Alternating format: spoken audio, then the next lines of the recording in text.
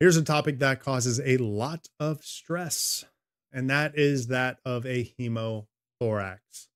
Now, it states here hemothorax accumulation of blood in the pleural space, usually due to chest trauma, which can compress the lung and lead to respiratory distress and hypovolemic shock. Now, the one thing I want you to know about chest trauma and a hemothorax is the chest wall or the chest cavity can withstand a lot of blood. Someone can literally bleed out and die just in the chest cavity. So be mindful of that.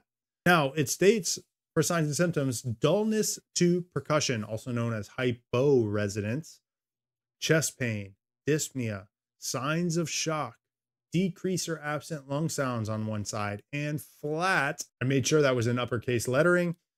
Neck veins, flat neck veins.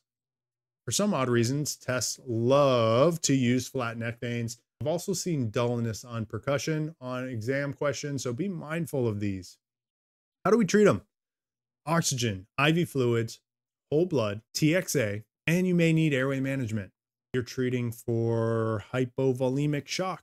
That's what you're treating for. They need rapid transport to a trauma center where they're going to be able to open up the chest, find out where the bleed is, and they're going to stop the bleed. Us letting them bleed out in the back of the truck is only going to do a problem or cause problems for our patient down the road.